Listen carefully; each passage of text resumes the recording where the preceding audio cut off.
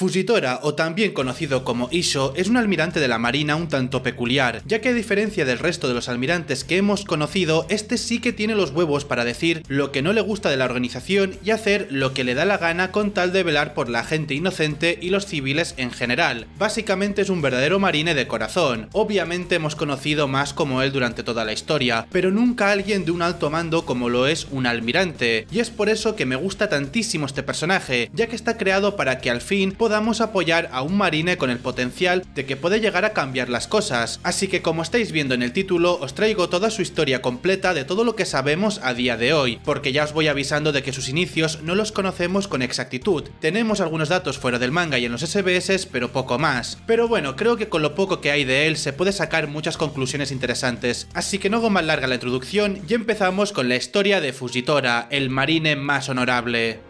Hace 54 años atrás nació en algún lugar un niño al que llamaron Isho. Este actualmente es conocido como Fujitora, y de momento lo siento, pero no tenemos mucha información de su origen más allá del hecho de que es originario de alguna isla de la Grand Line. Obviamente esto está sujeto a cambios, no es la primera vez que pasa en la obra que Oda cambia el lugar de nacimiento de alguien, ya que no salió específicamente en el manga, sino en unas databooks. Sin embargo, debido a lo aclarado hace poco a través de un SBS, la espada que actualmente empuña, es decir, la Yakuza Kasen, es una Saijo Wazamono, es decir, una de las Meito de grado supremo y proviene del país de Wano. Cabe aclarar que es la espada que viene de allí, no él, esto debido a que fue forjada por un herrero de la familia Fugetsu, la cual proviene de esa isla. Debido a esto podríamos asumir que Fujitora tiene algo que ver con este lugar, ya sea porque le llegó a visitar en algún momento o porque su familia o incluso él mismo provengan de allí. Eso sí, repito, no está confirmado de dónde proviene él. Avanzando un poco más en la historia, en algún momento del pasado, el almirante tomó la decisión de cegarse intencionalmente. Esto porque dicho por él mismo, no estaba dispuesto a mirar las desgracias que ocurrían en el mundo. Ya me imagino que estaréis pensando en que este tipo es sumamente radical, cosa que es cierta, pero tened presente que esta es una de las características bastante resaltantes del personaje, y de hecho esta acción refleja muy bien su forma de actuar, la cual veremos más adelante. En algún momento de su vida, este se comió la Zushi Tsushinomi, la fruta paramecia que le permite emitir ondas gravitatorias. Además, durante el salto temporal, Isho fue ascendido al puesto de almirante de la Marina por medio del proyecto de reclutamiento mundial, el cual tenía como objetivo compensar el hecho de que dos de los tres almirantes de la Marina que ocupaban el puesto durante la guerra de Marineford dejaran sus puestos. Recordemos que Aokiji dejó la Marina y Akainu ascendió almirante de flota, por lo que ya no estaría disponible para realizar sus antiguas labores. Gracias a esta situación, tanto Fujitora como Ryokugyu ocuparon sus puestos, siendo así sus reemplazos, y según lo dicho por Fujitora, él decidió aceptar el puesto para intentar cambiar el mundo dentro de la organización.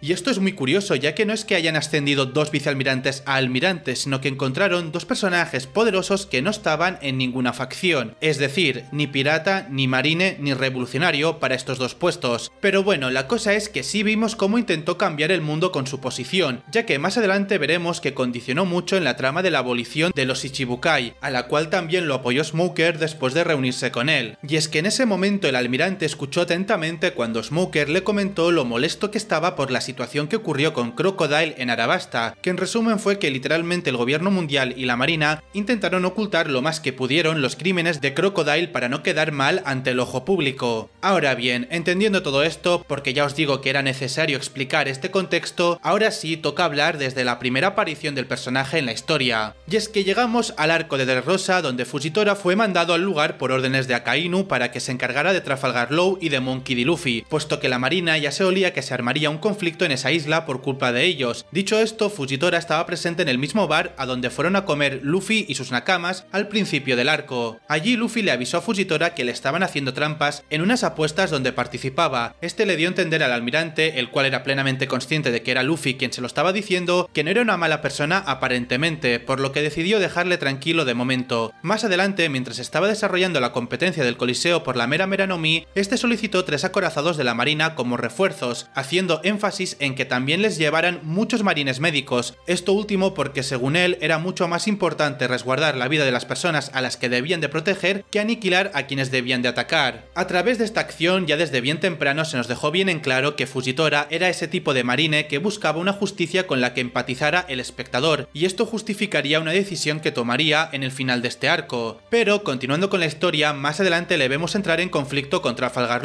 en la playa de Green Beach. Allí Fujitora tuvo una conversación confrontación triple junto a Doflamingo y Low. A este último le preguntó acerca de las intenciones que tenía él y Luffy y si realmente estaban en una alianza, y Low le respondió que sí, que estaban en una alianza pirata. Así que Fujitora decidió pelear contra él, derrotándolo evidentemente. Sin embargo, gracias a que se despistó por la intervención indirecta de los sombreros de paja, Low se le escapó. Eso sí, esta situación dio a pie a que el almirante fuera en contra de la alianza entre ambas tripulaciones. Por eso mismo, más adelante chocó espadas con Zoro para defender a Doflamingo, puesto que para ese momento de la historia creía que los Mugiwara estaban allí para causarle daño a los inocentes, pero a medida que seguía desarrollándose todo el incidente, este empezó a desconfiar de Dofi, hasta el punto de que se lo hizo saber cuando estaba en su castillo hablando con él. Esto hizo que Doflamingo le atacara, pero como debía mantener la postura de la marina ante la situación, Fujitora no le contraatacó. No obstante, esta decisión envejecería muy mal, ya que al poco tiempo de este suceso, el plan de Kiros, el soldado juguete, fue un éxito rotundo y liberó a todos los personajes transformados en juguetes. Esto causó mucha conmoción en el lugar, puesto que salieron a la luz todas las injusticias que cometía Doflamingo como gobernante del país. Debido a esto, Dofi activó su jaula de pájaros para eliminar a todos los testigos de sus crímenes, y la contramedida de Fujitora para esto fue la de ordenarle a sus subordinados que priorizaran la protección de los civiles antes que otra cosa. Eventualmente, Fujitora se cruzaría con el segundo al mando del ejército revolucionario Sabo, con el cual tuvo un enfrentamiento, pero no se alargó demasiado ya que ambos dejaron de pelear, puesto que se dieron cuenta que coincidían en cuanto a lo que buscaban como objetivo, proteger a los ciudadanos. Es aquí cuando Sabo aprovechó la oportunidad para advertirle que esa ideología que tenía, siendo como es realmente la marina, le ocasionaría problemas, y luego de esto cada uno se fue por caminos distintos. El almirante fue en dirección al lugar donde estaba el antiguo rey Riku, ahí este le comentó que decidió apostar por Luffy en esta situación, haciendo referencia al momento en que se conocieron. Y es que Fujitora llegó a esta conclusión luego de darse cuenta de que los buenos no eran realmente buenos y que los malos, entre muchas comillas, estaban buscando la justicia. Gracias a esto pudimos ver a la marina en el momento clímax del arco actuar en conjunto con los Mugiwara y el resto de personajes del lugar, intentando evitar que la jaula de pájaros se encogiera, siendo él de hecho quien empujó junto a Zoro y a Kinemon para lograr ese cometido. Esto le llevó a confrontar a Luffy, aunque en este enfrentamiento Luffy al ver que era ciego fue tan buena persona que le fue avisando en la dirección donde atacaba, cosa graciosa ya que si Fujitora hubiera querido, le habría ganado muy fácilmente en ese momento a pesar de estar ciego. No obstante, luego de ello Luffy logró quitárselo de encima, pero antes de que el marine le empezara a perseguir, los habitantes de la isla intervinieron para que le dejara ir. Aquí Fujitora percibió las buenas intenciones de todas las personas y se dio cuenta de que no estaba aplicando la verdadera justicia intentando castigar al salvador de la isla, por lo que decidió dejarle escapar a pesar de que eso le haría ser sancionado por su superior. En ese momento Fujitora empezó a pensar muy bien de Luffy y dijo que ojalá no verse cegado, para así poder ver la amable cara de Luffy, aunque está 100% seguro que es una cara muy agradable. Que por cierto ya le preguntaron a Oda cómo Fujitora se imaginaba a Luffy en un SBS, y esto es lo que dibujó, un poco troll, pero así funcionan los SBS con Oda. Luego de todo esto que os he contado, Fujitora estaba a bordo del acorazado que trasladaba a Doflamingo, Ahí tuvo un enfrentamiento con Jack, el comandante de Kaido. Este intentaba liberar a Doflamingo, pero Fujitora logró evitarlo. Pero después de ese incidente no supimos nada más de Fujitora hasta el Levely. Allí tuvo una conversación con el rey Riku y con el rey Cobra de Arabasta, influyendo así la decisión que ambos tomaron de proponer la abolición del sistema de los Ichibukais, logrando así el objetivo que en algún momento se propuso Smoker al ver las injusticias que cometían los piratas que ocupaban esos puestos. Al final la propuesta fue aceptada y más adelante Fujitora